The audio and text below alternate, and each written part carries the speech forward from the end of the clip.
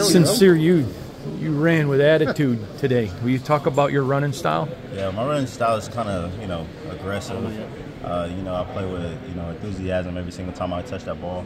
Um, overall, it's just you know a complete journey that I've been going through. Just a mindset of just attacking the attacking the defenders and scoring the touchdown.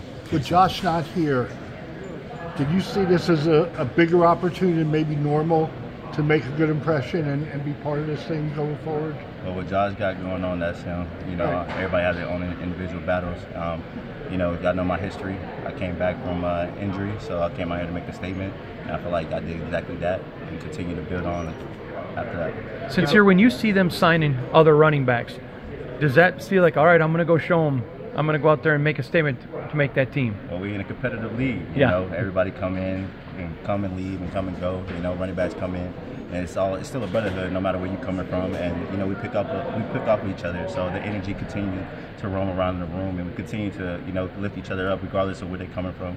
You know, we still love. It's still family at the end of the day. What impressed you most about Aidan's performance today? Oh, great! Making making passes, completed passes, being calm, cool in the pocket. You know, um, be communicating with everybody and keeping everybody calm. So that was real a great thing about him, and he, he you know did a great job as a quarterback.